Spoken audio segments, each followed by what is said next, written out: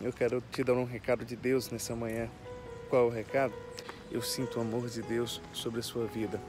Eu quero te dizer que a mão de Deus é aquela que abençoa, é aquela que salva. Isaías diz que as mãos de Deus não estão encolhidas para que não possa salvar. Você crê assim? A palavra de Deus fala que nós precisamos sujeitarmos, sujeitar nossas vidas às mãos de Deus, para que no tempo oportuno Ele possa então nos exaltar. A palavra de Deus ainda fala o seguinte, que havia uma grande tempestade no mar e estava ali Pedro e mais outros discípulos no barco, quando de repente viram um reflexo e chegaram a imaginar que era uma assombração, um fantasma. E de repente a voz falou: Pedro, se dirige até mim, caminha, caminha sobre as águas, venha até mim. E era Jesus. E Pedro começou agora a caminhar. Pedro começa a andar sobre as águas, o vento estava muito forte, a tempestade estava muito forte, e Pedro começa ali a caminhar. Mas Pedro chega no momento que ele fica com medo da tempestade, e quando ele fica com medo, ele esquece a direção, ele esquece o propósito, ele esquece a confiança, ele deixa de olhar para o alvo e nessa de olhar para o lado, de olhar para as circunstâncias, de olhar para as adversidades, de olhar somente para o problema e não para a solução, ele acaba afundando. Preste atenção, para de olhar para o problema, para de olhar para o problema, comece a olhar para a solução, que é Jesus Cristo. Pare de olhar para a tempestade, pare de olhar para o vento, Pare de olhar para o mar bravio e olhe para Jesus, que é a solução. Será que você ainda não entendeu isso? Eu estou falando aqui que a mão de Deus, ela é sobre a sua vida. A potente mão de Deus, ela é sobre a sua vida. Sujeitai-vos, pois, a ela, a mão de Deus, para que no momento certo ele possa te exaltar. Quando Pedro grita por Jesus, sabe o que acontece?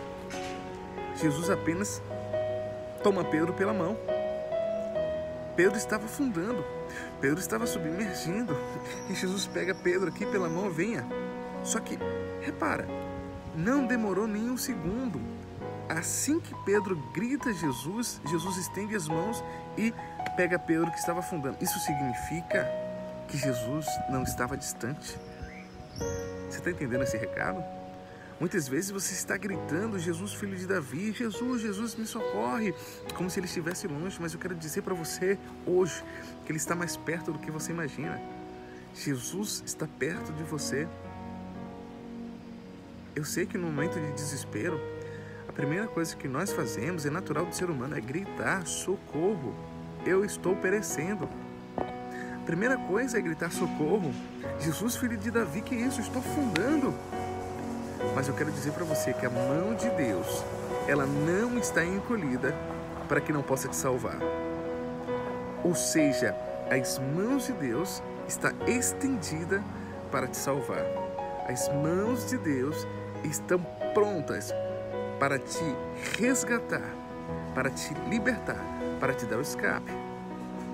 A mesma mão do Senhor Jesus Cristo, juntamente com o espilodo, foi colocada no cego essa é a mão que faz o cego enxergar. Esta é a mão que faz o cego enxergar. Esta é a mão que faz o morto ressuscitar.